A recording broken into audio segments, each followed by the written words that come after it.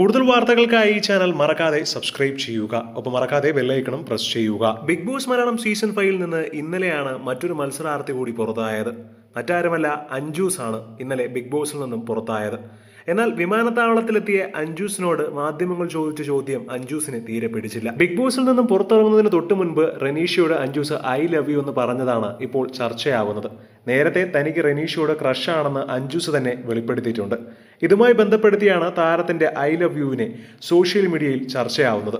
എന്നാൽ താൻ I love U പറഞ്ഞതിൽ മറ്റൊരർത്ഥമില്ല എന്നാണ് അഞ്ജൂസ് ഇപ്പോൾ മാധ്യമങ്ങളോട് പ്രതികരിച്ചപ്പോൾ പറഞ്ഞത്. അൻപത് ദിവസം അവിടെ അടിച്ചു പൊളിക്കുകയായിരുന്നു. സത്യം പറഞ്ഞാൽ പുറത്തു വരണമെന്നേ തോന്നുന്നില്ല. എല്ലാവരെയും മിസ് ചെയ്യുന്നുണ്ട്. പക്ഷേ അകത്ത് നിൽക്കുമ്പോൾ പുറത്ത് നടക്കുന്നത് അറിയാൻ സാധിക്കാത്തത് കൊണ്ട് തന്നെ എന്താണ് എന്നെക്കുറിച്ച് പറഞ്ഞിട്ടുള്ളതെന്നൊന്നും അറിയില്ല. വീഡിയോസ് ഒന്നും ഇതുവരെ കണ്ടിട്ടുമില്ല. പിന്നെ താൻ ഐ ലവ് യു പറയുന്നത് പ്രണയമല്ല. ഞാൻ ഹനാനോടും എത്ര പ്രാവശ്യമാണ് ഐ ലവ് യു പറഞ്ഞിട്ടുള്ളത്?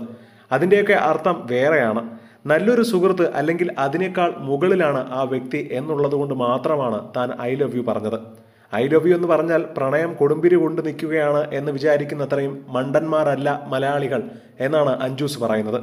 കൂടാതെ തനിക്ക് വേറൊരു പങ്കാളിയുണ്ടെന്ന് താൻ നേരത്തെ പറഞ്ഞിട്ടുണ്ടെന്നും താരം പറയുന്നു.